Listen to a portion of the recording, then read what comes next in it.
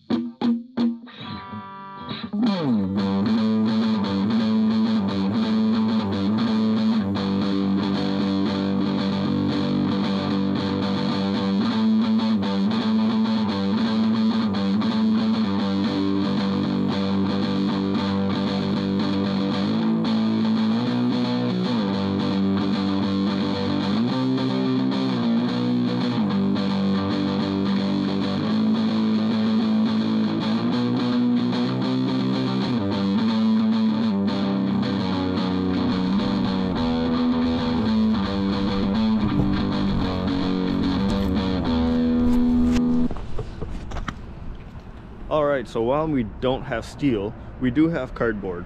So we're gonna head over in the garage and we're gonna cut out all our templates for the motor mounts and transmission mounts. And then in the next video, we'll go get some steel from the scrapyard and we'll cut them out and weld them up and mount the engine.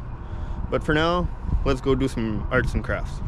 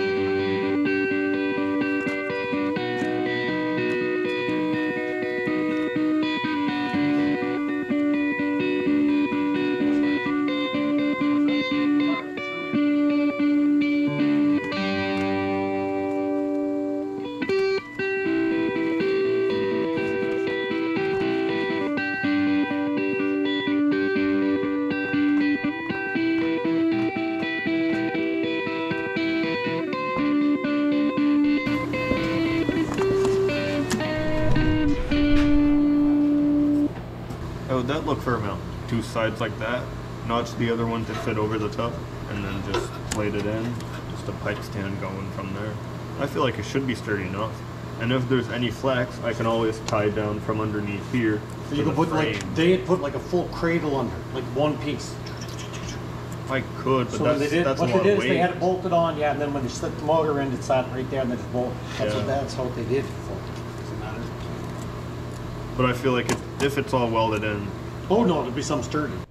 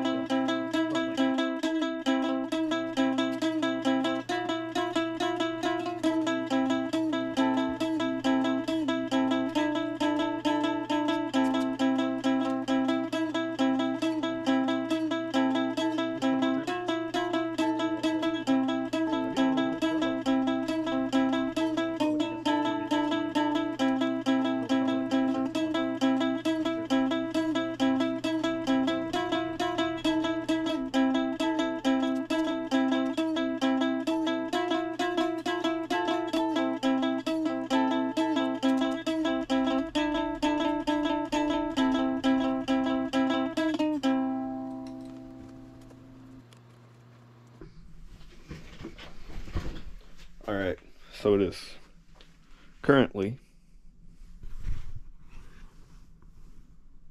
4:47 on Thursday.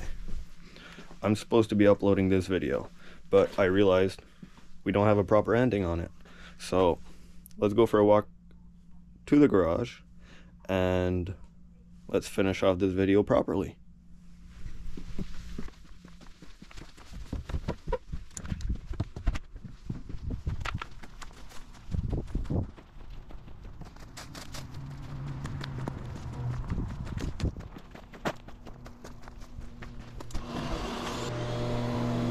Alright, so to finish this video off properly, we made this box mount. Going to be our template for cutting out our pieces. And it's to go right in here somewheres. And we're just to put a pipe from there to the engine. And that's to be our mount. And for the transmission mount, um,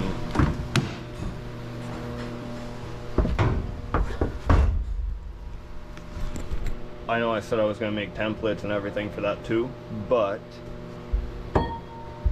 angle iron is going to work perfectly fine for this.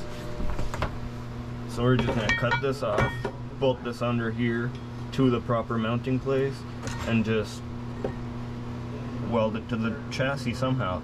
So if you want to see all that getting cut up and welded up, well, you can hit that subscribe button. And if you enjoyed this video, hit that thumbs up.